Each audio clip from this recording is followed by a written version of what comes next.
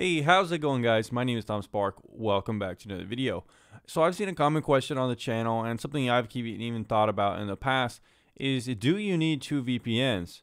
Now you might be thinking I would tell you to just go buy two VPNs because obviously that would make me more money on the channel since I'm an affiliate for VPN providers, but that's not what I'm going to do in this video. So let's go ahead and talk about it. So guys, do you really need two VPNs? Um, you know, do you want to use VPN on top of another VPN?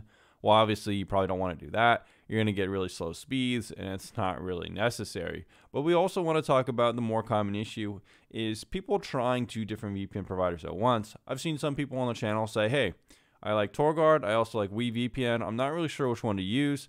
I'm going to buy both of them, try them out for one month and see which one I like better, then try to get a refund.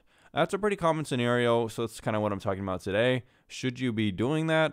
Well, honestly, guys, I don't think you should. A lot of times when you have two VPNs on your computer, you're going to experience compatibility issues between the two VPN providers. I know specifically for WeVPN, I was having issues with TorGuard connecting with OpenConnect because I had WeVPN installed. And since I had TorGuard um, installed, WeVPN was also having some issues. Um, I mean, take it from me, someone who reviews VPNs, uh, 60 plus VPNs. Sometimes I have three or four VPNs on my computer. Sometimes just to get a VPN working, I'll have to install VPNs that I already had on my computer. Sometimes it's not really so much of an issue. It kind of depends. Sometimes tap drivers from different VPN pr providers kind of interfere with one another.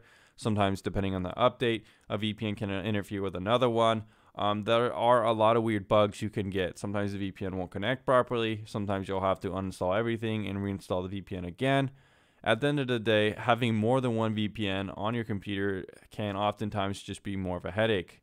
Now, if you want to try, if you want to try two VPNs at the same time, sometimes they do work, sort of. Um, but I still think I would recommend trying one VPN at once.